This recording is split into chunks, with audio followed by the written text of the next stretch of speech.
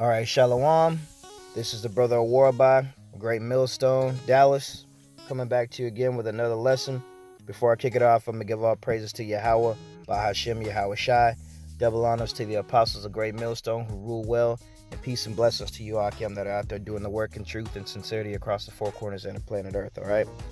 And tonight's lesson, basically, the topic that I want to go into is um just being tactful when preaching and, and, and when you're out on the highways and the byways or when you're doing regular sit downs or you putting up lessons okay? It's a it's a it's you know tactful speech is a blessing. It's a it's it's a beautiful thing in itself.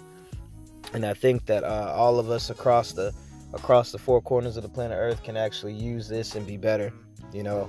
And it's an actual i put it out i'm challenging brothers to and i'm challenging myself also to just be a little bit better tactfully because we got fruit that is out there you know listening to us that you know we may have people that are in front of us you know while we're preaching or people that may watch our videos you know and i watch our lessons okay?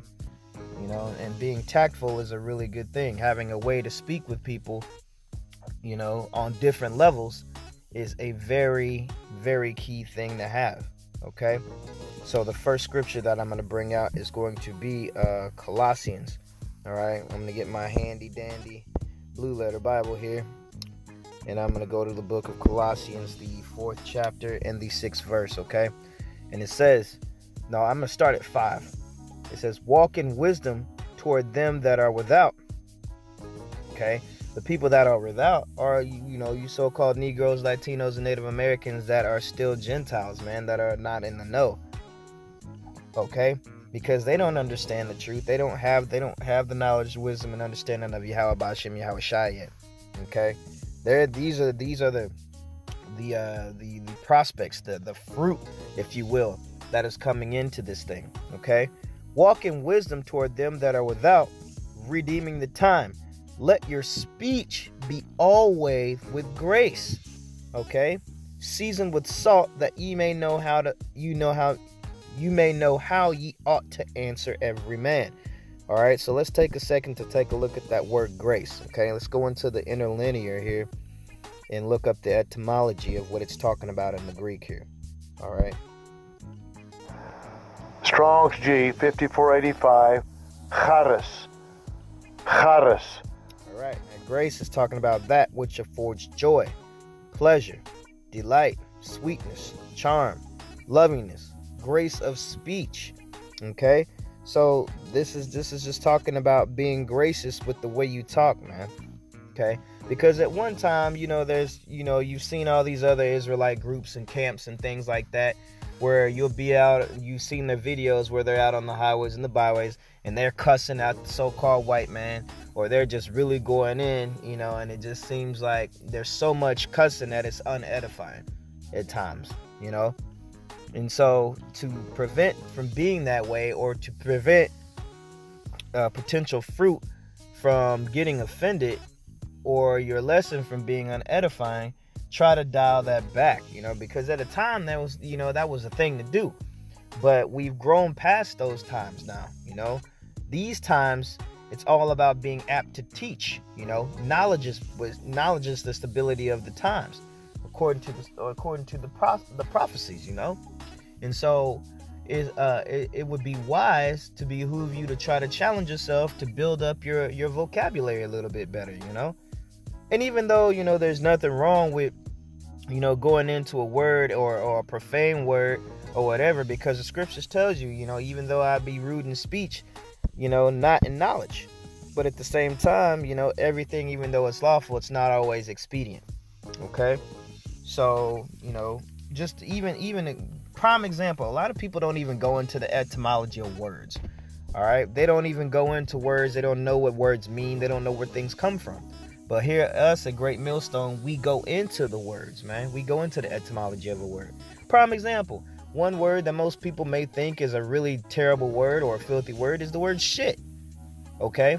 In reality, it's an acronym for uh, that they used back in the day whenever they used to transfer uh, manure or, or ship manure on ships, man. Okay? it actually means ship high in transit. Okay, because when they used to do that, they used to ship um, manure on the the bottom decks of the uh, the ships. And one thing about manure and, and fertilizer is it, it it ferments. Okay, when it gets wet, and so it'll start to produce what they call like a methane gas. All right, which can be highly flammable. And so a lot of ships started to catch on fire when people would go down there with like a, a lantern or, or a match or a candle. They would catch on fire or they would blow up the ship.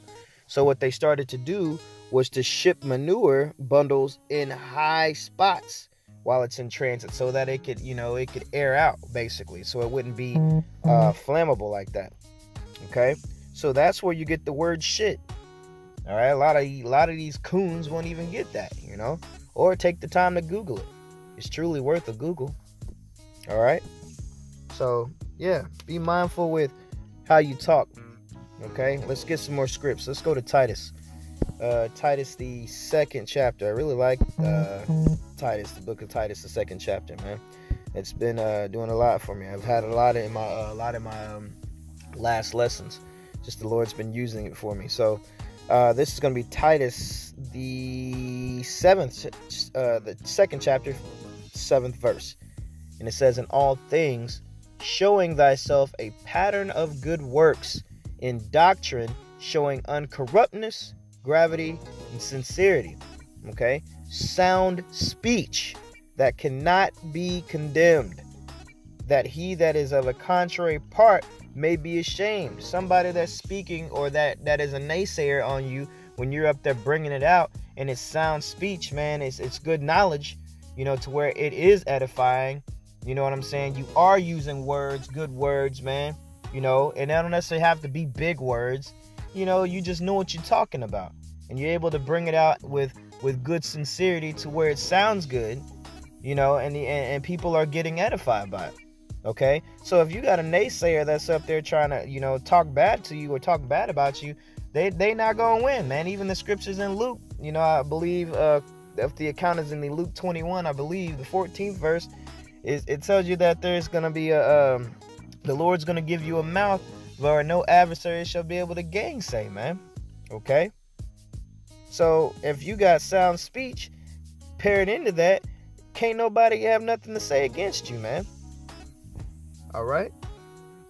Yeah. So you ain't gonna be, you know, somebody tries to come up. Why you cussing? Why you doing this? Why you doing that? Hey man, you're a learned man. You can go into it. Okay. You can you can get on any level that you have to with it. You know, if you got an apostle or elder or elderly person that comes up, you can use tact, man.